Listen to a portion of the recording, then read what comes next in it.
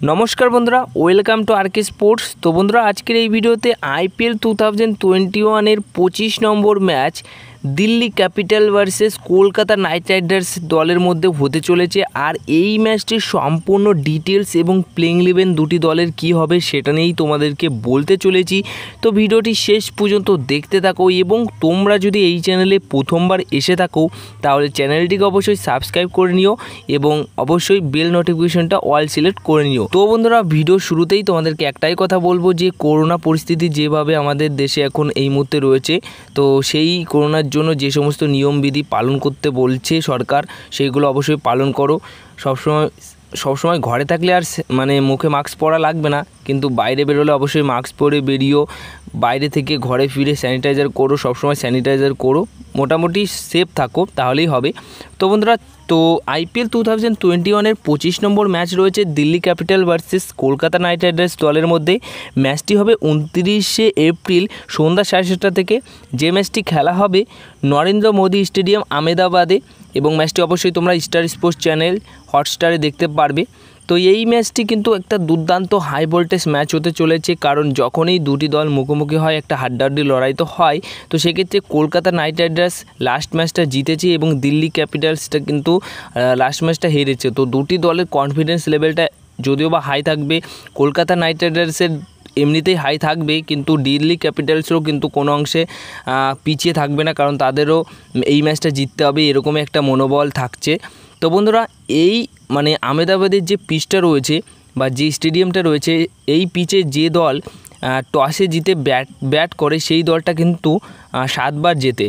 আর যে দল টসে হেরে কিংবা টসে জিতে বোলিং করে, তারা কিন্তু মানে ফার্স্ট বোলিং করে তারা কিন্তু ছবার জিতেছে এখনও পর্যন্ত এই স্টেডিয়ামে।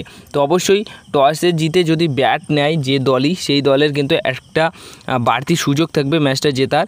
আর বন্ধুরা, এই ম্যাচের আগে দুটি দলের হেড টু হেড রেকর্ডের কথা যদি বলি, তাহলে দশবার মুখোমুখি হয়েছে দুটি দল, যেখানে ছবার জিতেছে কলকাতা নাইট রাইডার্স এবং চারবার জিতেছে দিল্লি ক্যাপিটালস। তো অবশ্যই একটা হাড্ডাহাড্ডি লড়াই তো হতেই চলেছে এবং কে কে আর দিল্লি ক্যাপিটালসের তুলনায় অনেকটাই এগিয়ে রয়েছে হেড টু হেড রেকর্ডে আর বন্ধুরা, এই ম্যাচের আগে দুটি দলের লাস্ট পাঁচটা ম্যাচের পারফরমেন্সে লাস্ট পাঁচটা ম্যাচে দিল্লি ক্যাপিটালস তিনটে জিতে, জিতেছে এবং দুটো ম্যাচ হেরেছে এবং দারুণ পারফরমেন্স করেছে লাস্ট পাঁচটা ম্যাচে।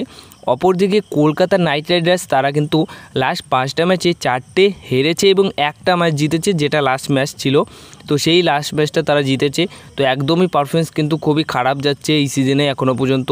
তো এই ম্যাচটা অবশ্যই জিতে তাদের পয়েন্ট টেবিলের একটু উপরের দিকে ওঠার চেষ্টা করবে অবশ্যই। তো বন্ধুরা, এবার আমরা দেখে নেব এই ম্যাচে দুটি দলের প্লেইং ইলেভেন কী হতে পারে বা কোন প্লেইং ইলেভেনে দুটি দল একে অপরের বিপক্ষে ম্যাচ খেলতে নামবে। তো চলো প্রথমেই দিল্লি ক্যাপিটালসের প্লেইং ইলেভেনের কথা বল যাক। তো দিল্লি ক্যাপিটালসের প্লেইং ইলেভেনে চেঞ্জ আসতে পারে দুটো। তো প্রথমে এক নম্বর প্লেয়ার হিসেবে থাকছেন পৃথ্বী শাহ, দুই নম্বর প্লেয়ার হিসেবে থাকবেন শেখর ধাওয়ান, তিন নম্বর প্লেয়ার হিসেবে থাকবেন আজিকে রাহানে। লাস্ট ম্যাচে তিন নম্বর প্লেয়ার হিসেবে স্মিথ, স্টিভ স্মিথ খেলেছিল। তো সেই স্টিভ স্মিথ সেরকম ভালো পারফরমেন্স করতে পারেনি। তো এই ম্যাচে হয়তো তাকে রেস্ট দেওয়া হবে বা পরের ম্যাচে খেলতে, খেলানো হবে। তো এই ম্যাচে অবশ্যই আজিকে রাহানেকে সুযোগ দেওয়া হতে পারে। চার নম্বর প্লেয়ার হিসেবে থাকছেন ঋষভ পান্ত, পাঁচ নম্বর প্লেয়ার হিসেবে থাকবেন সিমরান হেইটমার, ছয় নম্বর প্লেয়ার হিসেবে থাকবেন মার্কোস টনিস, সাত নম্বর প্লেয়ার হিসেবে খেলবেন অবশ্যই আকসার প্যাটেল আট নম্বর প্লেয়ার হিসেবে খেলতে পারেন ক্রিস উক্স। তো ক্রিস উক্স, স্টিভ স্মিথের রিপ্লেসমেন্ট হিসেবে ঈশান্ত শর্মার জায়গায় খেলবে তো লাস্ট ম্যাচে ঈশান্ত শর্মা খেলেছিল। তো এবার কিন্তু নয় নম্বর প্লেয়ার হিসেবে খেলবেন কাজিগো রাবাডা এবং দশ নম্বর প্লেয়ার হিসেবে খেলবেন অমিত মিশ্রা এবং এগারো নম্বর প্লেয়ার হিসেবে থাকছেন আবেশ খান। তো এই প্লেইং ইলেভেন নিয়ে কিন্তু দিল্লি ক্যাপিটালস কলকাতা নাইট রাইডার্সের বিপক্ষে ম্যাচ খেলতে নামবে এই দিন। তো বন্ধুরা, এবার আমরা দেখে নেব কলকাতা নাইট রাইডার্স কোন প্লেইং ইলেভেন নিয়ে দিল্লি ক্যাপিটালসের বিপক্ষে ম্যাচ খেলতে নামে বা কী প্লেইং ইলেভেন থাকছে। তো দিল- দিল্লি ক্যাপিটালসের বিরুদ্ধে কলকাতা নাইট রাইডার্সের প্লেইং ইলেভেনে এক নম্বর প্লেয়ার হিসেবে থাকবেন অবশ্যই নীতিশ রানা দুই নম্বর প্লেয়ার হিসেবে খেলবেন রাহুল ত্রিপাঠী তিন নম্বর প্লেয়ার হিসেবে থাকছেন ইয়ন মর্গান চার নম্বর প্লেয়ার শুভমান গিল পাঁচ নম্বর প্লেয়ার সুনীল নারিন ছয় নম্বর প্লেয়ার দীনেশ কার্তিক কার্তিক সাত নম্বর প্লেয়ার আন্দ্রে আসেল আট নম্বর প্লেয়ার প্যাট কামিন্স নয় নম্বর প্লেয়ার বরুণ চক্রবর্তী সাত দশ নম্বর প্লেয়ার শিবম মাভি এবং এগারো নম্বর প্লেয়ার পরশিত কৃষ্ণা।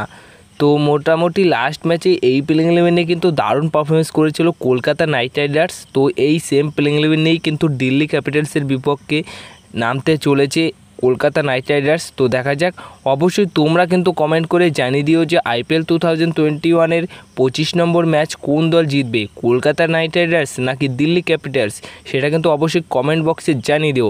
তো বন্ধুরা, আজকের এই ভিডিওতে এই ম্যাচটির সম্পূর্ণ ডিটেলস এবং প্লেইং ইলেভেন কী হবে সেটাই তোমাদেরকে জানানোর ছিল। তো ভিডিওটি এই পর্যন্তই। যদি ভিডিওটি ভালো লেগে থাকে, তাহলে ভিডিওতে করো একটা লাইক আর চ্যানেলটিকে অবশ্যই সাবস্ক্রাইব করে পাশে থাকা বেল আইকনটি প্রেস করে অল অপশানে ক্লিক করে নিও। তাহলেই পরবর্তী ভিডিওর নোটিফিকেশন কিন্তু তোমরা পেয়ে যাবে।